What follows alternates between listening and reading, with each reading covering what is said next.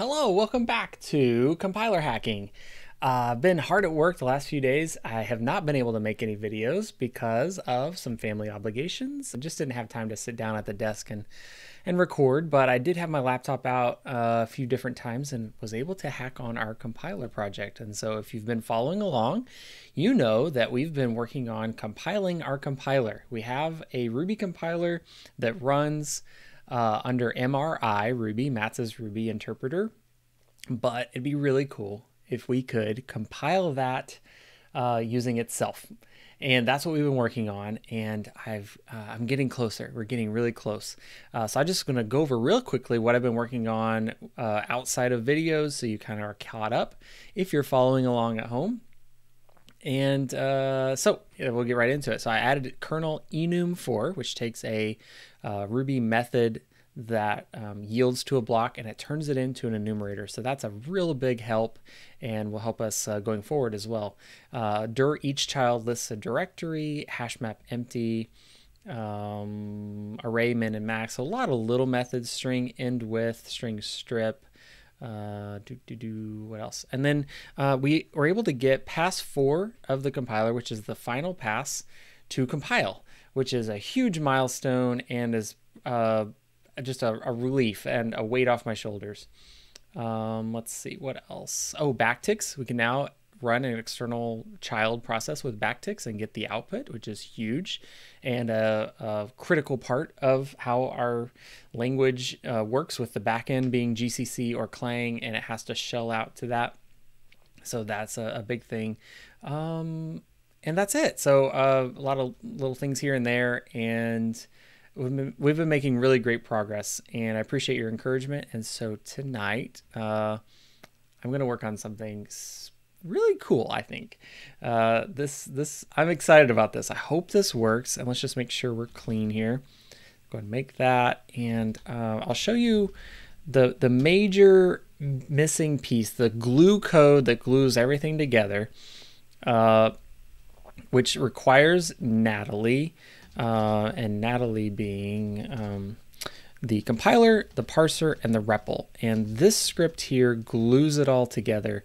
Uh, we're not going to write, we're not going to get this to compile tonight because we need option parser, but I'm going to just cheat a little bit and we're going to rewrite a much smaller, simpler version of this uh, so that we can see if we can self-host. If we can get Natalie to run um, some version of Natalie that can run the Fibonacci example code, which is Fibonacci, uh, which is this very simple script. And so what we'd like to do is use our parser that we've been writing. So this is the culmination of many, many months of work. Use the parser we've been writing to parse this. Use the compiler that uh, you know we've been writing for a year um, compiled with that compiler to compiled AST. So this is now two levels deep. Have you watched Inception? It's a great movie. Uh, love love that movie. But this is what this feels like a little bit. Uh, and then to run the the resulting oh, and then feed that through GCC and run the resulting binary. So, oh, this is this is gonna be fantastic if we can get it to work. And we may fail spectacularly. So let's see what happens. Um, so right off, I'm gonna we're gonna start rewriting this script as a little smaller baby version of it. Um, so we'll just call it Nat instead of Natalie. It's the baby version of of Natalie. So we're gonna call it Nat, and we're gonna put this up here. And we, I guess we do need temp file. We don't need that. We don't have bundler in Natalie, so we can't do that. But we do have this require uh, compiler. Yeah, just compiler. And let's uh, set the file type to Ruby so that looks right. Uh, and then what? So we're not going to do any option parser stuff. So let's just say it takes a path from the argv.first and does what? What does it do? Let's go down here, skip all the option stuff. Um, compile and run. I think this is I think this is the code we want to do, or at least some stripped down version. Oh boy, some stripped down version of it. So we're going to create a temporary file uh, with a prefix of Natalie, and we're going to immediately close it because we just want the file name. Um, we need a compiler instance. So I believe that's compiler.new uh, compiler RB. What does it take? What does it take? Uh, it takes an AST and a path. Okay, so AST and the path. We already have the path. AST is going to be parser.parse uh, uh, file.read path, like so. So we're going to take our parser and turn it into an AST. We're going to feed that into our compiler, and then we're going to write it to the temporary file path. Um, yeah, we're going to compile it and write it to that, and then we're we don't have spawn yet, so we're going to have to not use any of that. So we just we'll just do it with backticks, because that's the only way we have right now to spawn a child process. But um, let's not do that yet though. Let's just print the path puts. okay, so there's going to be something not work with this, I'm sure. Um, but here's what we're going to do. We're going to run Natalie, and we're going to give it the little baby nat script to run. And as an argument to that, we're going to pass the Fibonacci code and let it do its thing. It's not fast. Uninitialized constant compiler. Uh, that's because this is in the namespace of Natalie. I'll run that again.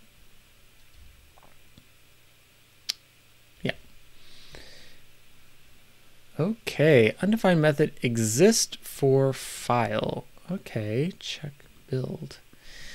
Okay, so we need to go implement something. File.rb. We have a file, self.exist path.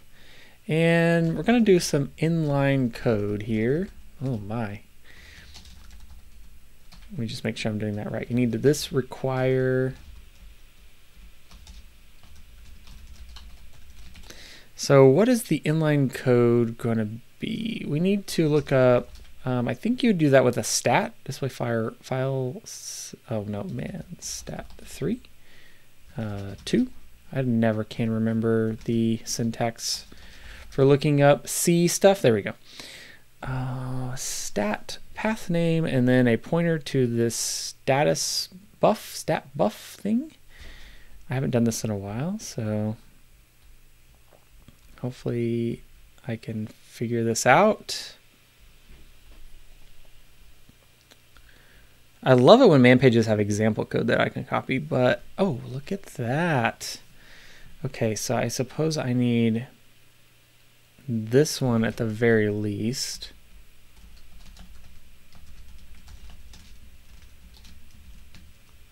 Um, I may need some of the rest. I don't know. We'll just see what the compiler says. Uh, struct stat sb. We'll need that for sure. Auto path equals args zero and we'll do path assert type env type uh, let's see value type string and um,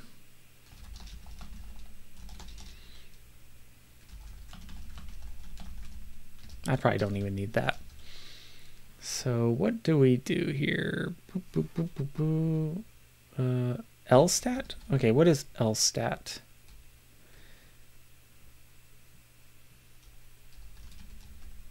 What does LStat do? LStat is identical to stat except that if the path name is a symbolic link, then it returns information about the link itself, not the file. Okay, we don't want that. So I think we do want stat. Uh, down here, where's my example? There it is. Um, it's going to be something like that. Ah.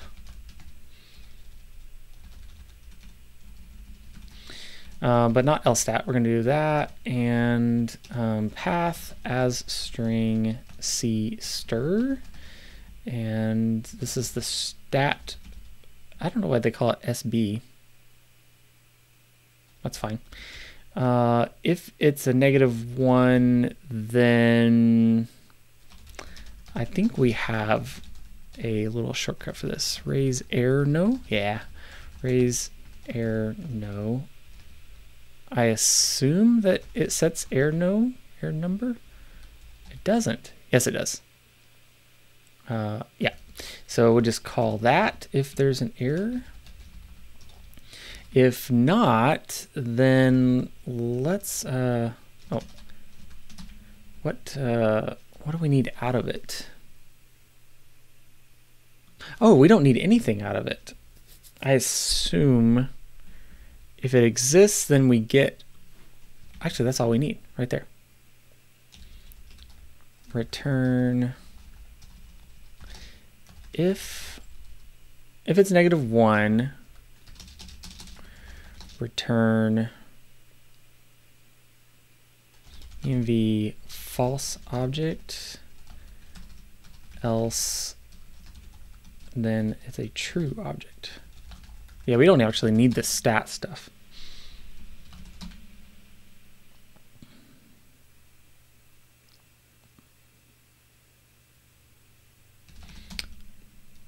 I should have made a test for this. Um, file test.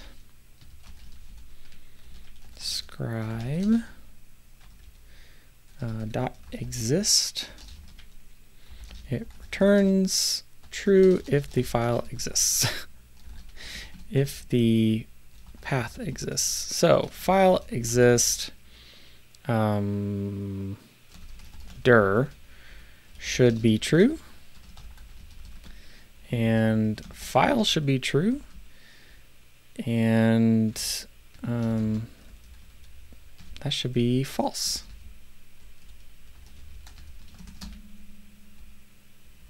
Uh, should not exist. So let's just make sure that works. Snelly file test does.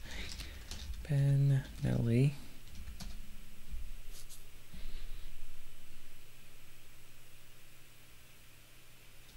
Uh, it. Are you as suspicious as I am that that worked the first time?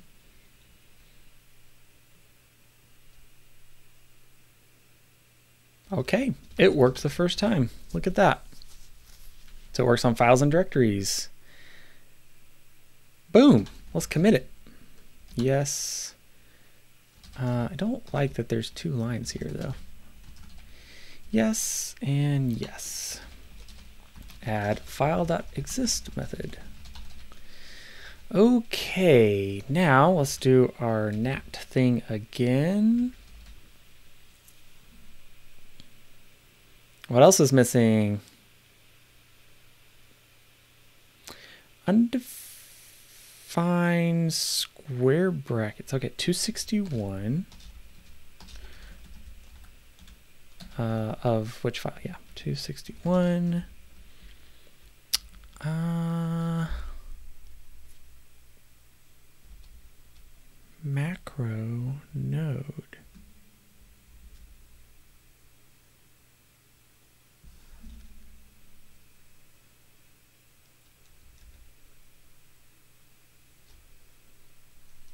Okay, so something tells me that uh, this only works. Yeah, interesting.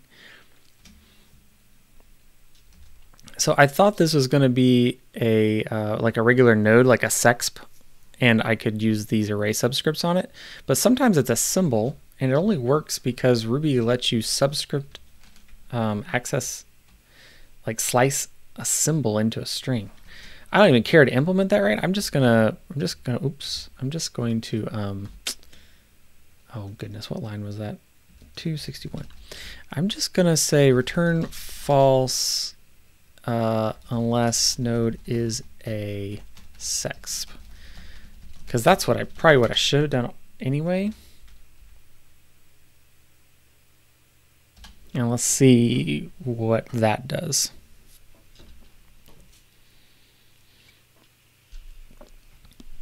Undefined matcher for nil 189. Um, I don't believe you can do nil foo, can you? You can. You can pass nil, or you can pass the matcher to a nil? No way. Nil dot methods minus object dot new dot methods. Wild. Nil dot method owner.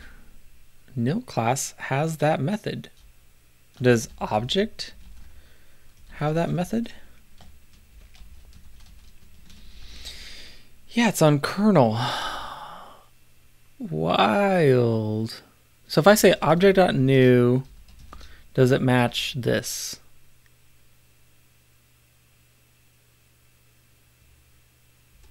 Interesting. Okay, well, um, I didn't know this. So nil value has has that method. Uh, is it just called match? Binding gen match. Uh huh. Regex match. E EQ tilde. Okay, EQ tilde. We need this method for nil value. Uh, we'll just put it right here. And nil value CPP, it's going to return false always. Or nil. What is it going to return? It's going to return nil. Um, fair enough. Don't care about the value. Return env nil obj. Binding gen. Nil. Uh, huh. Nil class. Nil value. One argument passes the environment, no blocks, and returns a value. Okay.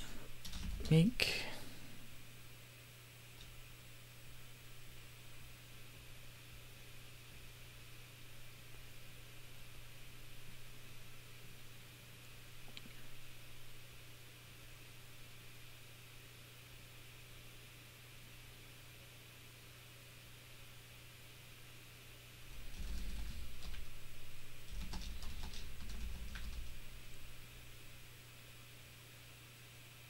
Hmm.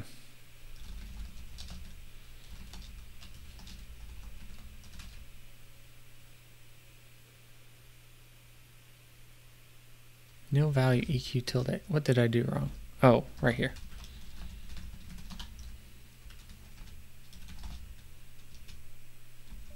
Okay.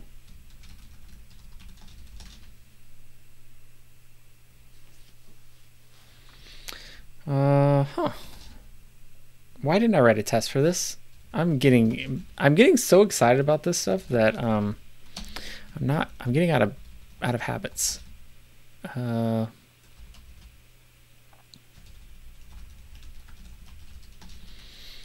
it always returns nil. Hmm. Nil foo. Um should be nil. Make and Nelly test Nelly nil test. Okay, I believe that that works. EQ tilde, no, not that yet. EQ tilde, yep, yep, yep. Mm-hmm, mm-hmm. Add method on nil class. Let's add that other thing that we fixed. Don't subscript. Uh, don't ch check for uh, check for macro on symbols on non-sex uh, objects. Okay. Well, back to our little experiment.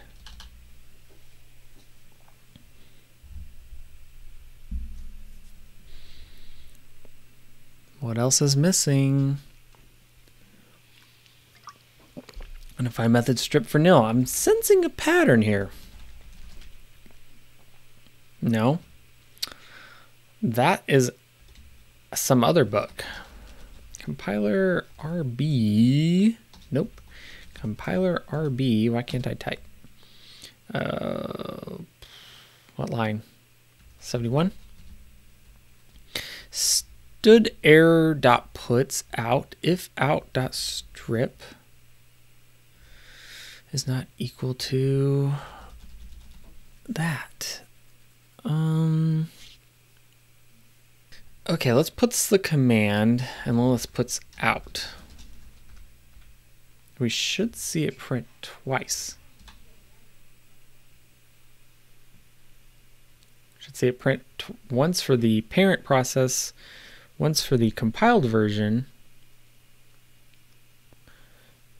and did I do a puts? I went to do a P here. Uh huh.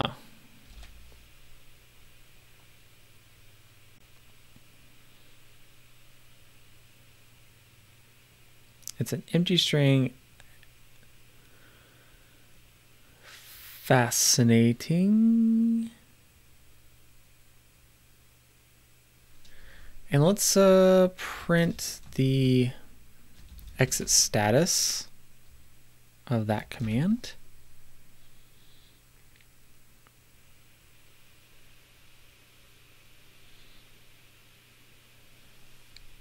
It is a zero status, that's good, but for some reason our backticks, the one we implemented, is returning a nil instead of an empty string. Interesting. So let's say we just run this. Um, we get no output and no error.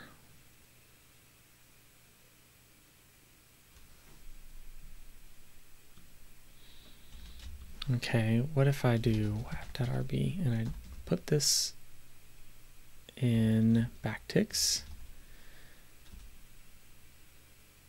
like so.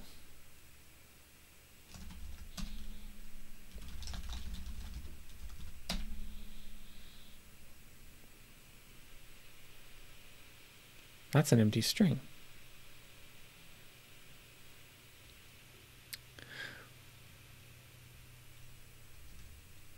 Okay, okay.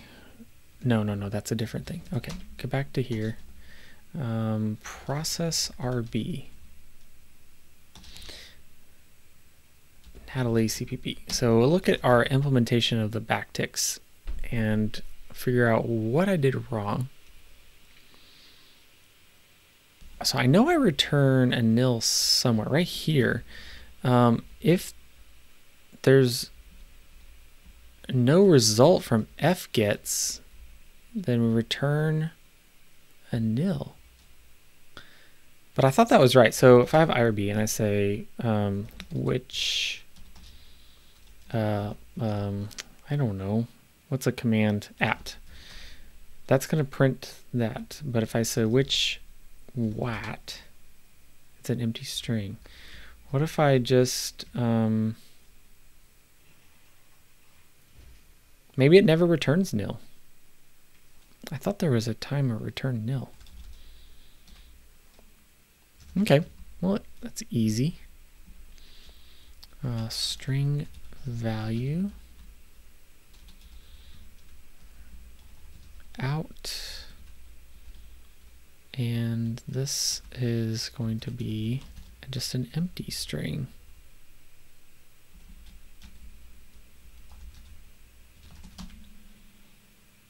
Okay. Um, oh, but I should have made a test. Make a test, make a test, make a test. Uh, string test back backticks. No, not string test. Uh, what am I thinking? I think it's shell test. Yeah. So if I say this it returns an empty string if there is no output. Uh huh. SHC exit should equal empty string. Let's test that. Shell test.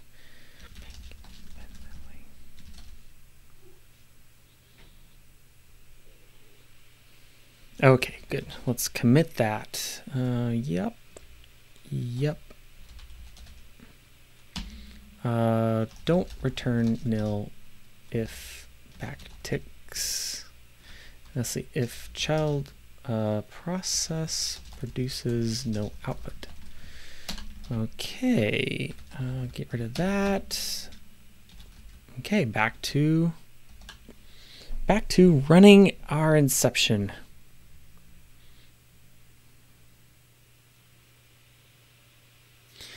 there was an error compiling. This is new.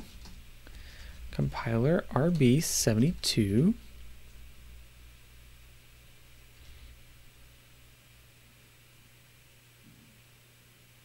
Hmm. Well, what is puts what is out?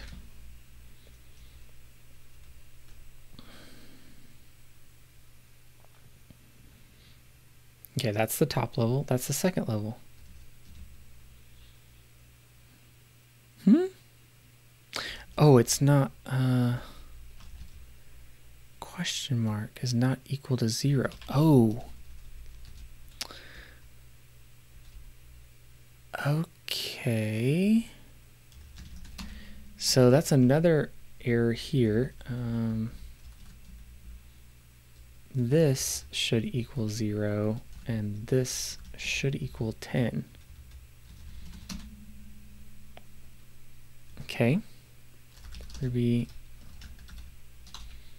right? No.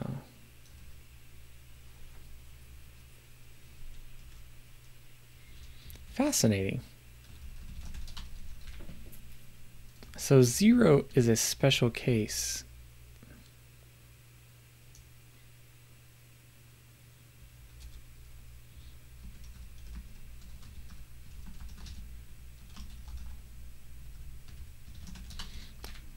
A little confused. Identify method status. What are, uh, let's do it this way.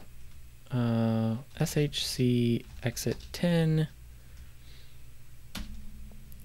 E equals that. Okay, so E is this methods minus E dot to_i is 2560 but exit status is 10. Okay, so this is the original value, but to_i is, yeah, to_i is the original value, and exit status is the um, bit shifted, uh, the the value that we all know and love. Um, so that means over here, process status, nope, process RB. Over here, uh, we. Hmm. I'm just going to kind of cheat. I don't know if this is the right way to do this, but it's how I'm going to do it. Uh, to_i, and then Natalie CPP uh, was already there. Uh, we're going to set this to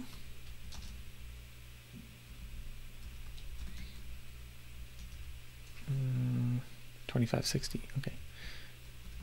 2560. I'm just going to put all the different ways that this should equal something. Okay. And this should just be the raw status, not bit shifted. Is Ruby happy? Yes. Is Natalie happy? Come on. Nope. Uh, should be equal to zero.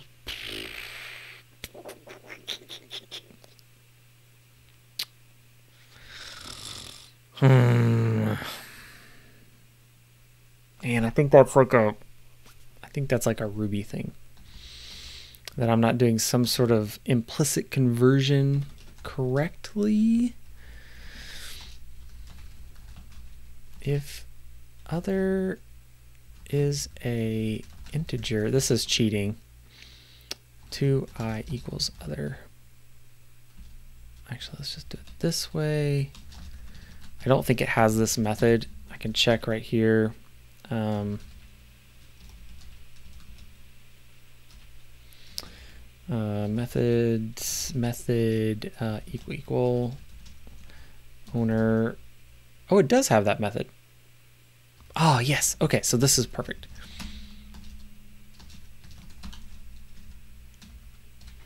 This is actually the correct way to do it. Yay. Uh-huh. Uh-huh. Uh-huh.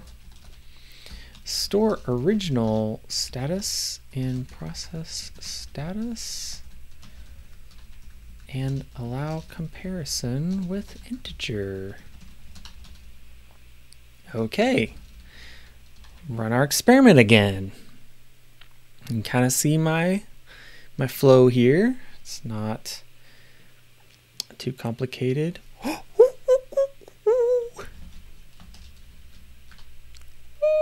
It's an ELF binary. Mm, do I just do I run it? Do I run it? Do I run it?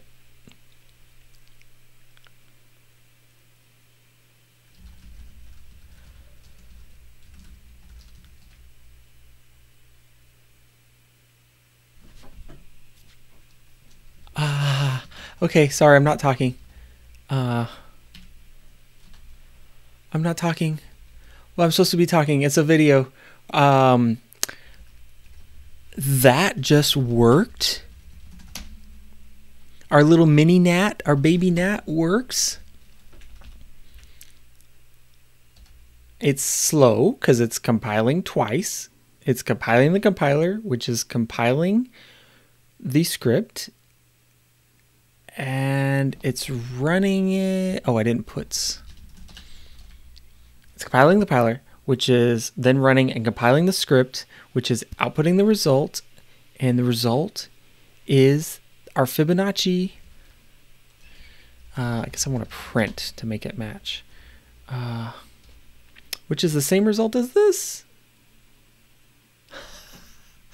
Okay, okay, okay, okay, okay. Okay, take a take a breath.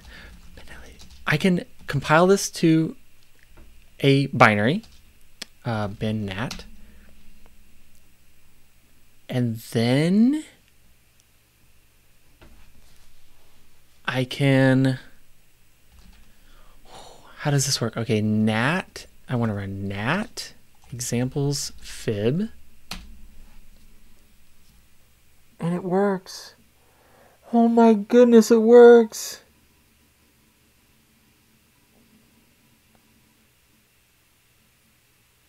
Friends, I'm to cry. Like this is this is a year of work and it's um it's all coming together. I'm actually to cry. Uh, this is so cool. I just I I just want to keep looking at this over and over again.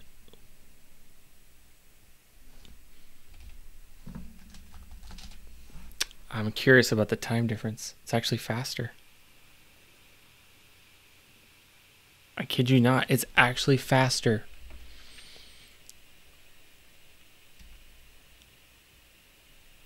Two point two seconds versus one point six. It's not quite twice, um, but it's some percentage faster, like 50% faster or something.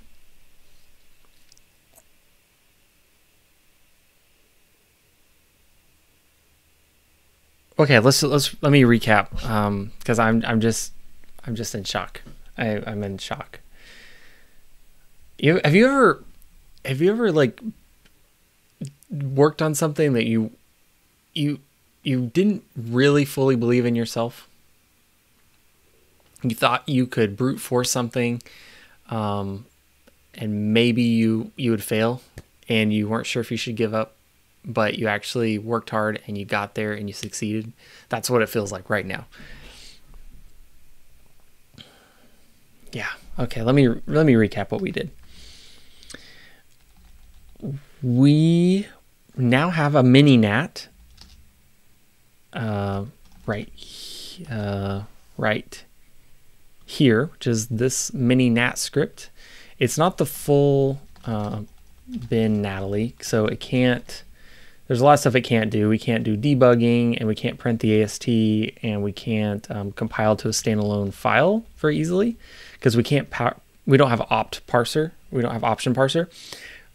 Anyway, so we have this mini nat, and uh, we even have a compiled version of mini-nat here that accepts a file path, runs that, reads that file, runs it through our parser. Uh, you saw the series uh, about the parser. If you haven't, you can go check it out. We've been writing the parser for uh, like a month or so now. I don't know how, how long. There were, um, actually, when did I start that? Even less than a month, I think when working on that parser, it runs it through the parser. It runs it through the compiler that we've been working on for a year. Uh, creates a temp file, runs the compiler, um, which shells out to GCC, writes a file, and then we execute that with the backticks. And it works. It's actually able to compile the Fibonacci example code and run it. I'm curious if these arguments work. So if I say 5, no, that doesn't work. So the arguments aren't being passed. That makes sense. So right here, um, could we fix that?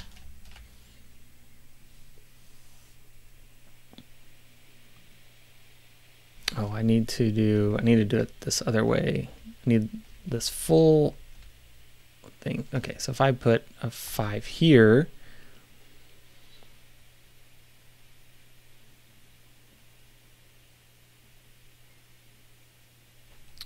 Uh-huh. Five.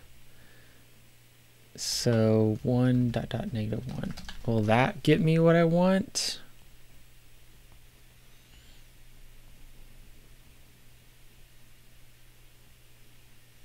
Yes, so I could do this. I could do arg v1 through the end uh, dot join with a space. It's not going to escape things properly, but um, it's good enough for now. Now can I run, can I pass an argument to Fibonacci? Yes! Uh, is that the fifth Fibonacci number? So one, one, two, three. Yeah, yeah, it is. Cool. Uh, dash C. So let's compile our mini nat.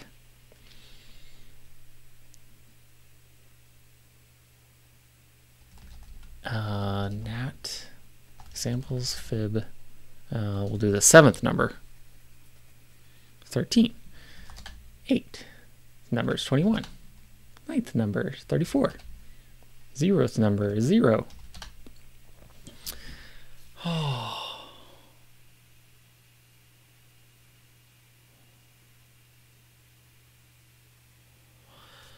Oh, that's so cool. I I'm not good at showing um, how cool this is. I don't think. I I wish I could express how cool this really is.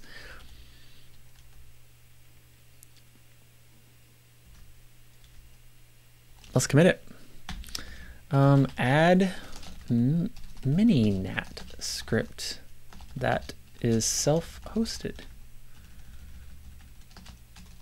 I'm putting so many exclamation points on this.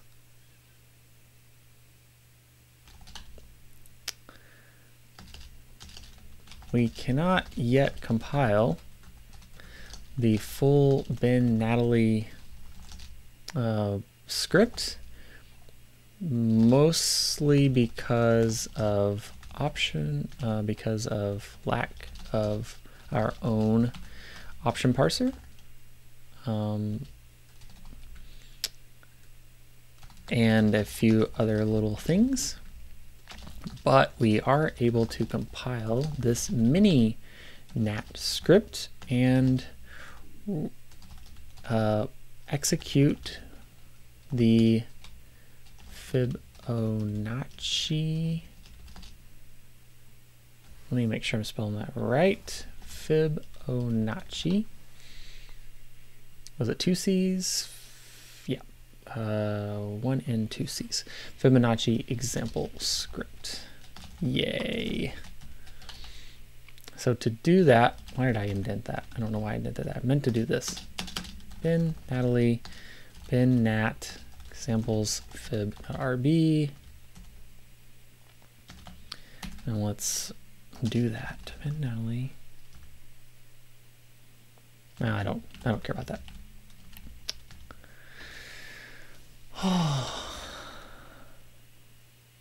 Friends, this is so fun. This is so neat.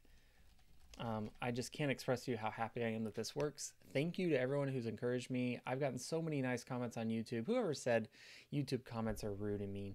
Uh, I've gotten so many nice comments from people on Twitter and YouTube and uh, direct emails, and um, I've, I've made friends uh, on this platform. And thank you so much for being there for me and helping me. And you've uh, made suggestions and you've really rooted for me doing this. And thank you.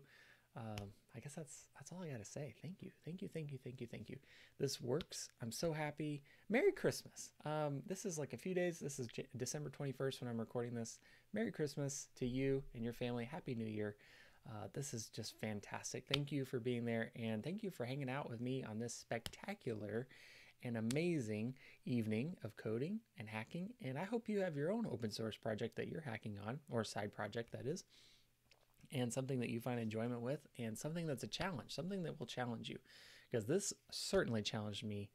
Uh, and what else can I say? I hope you have something like that that you're working on and you can find some enjoyment and satisfaction in doing that and pushing yourself, pushing your own boundaries. And I guess that's it. So thanks for hanging out. I will see you in the next video.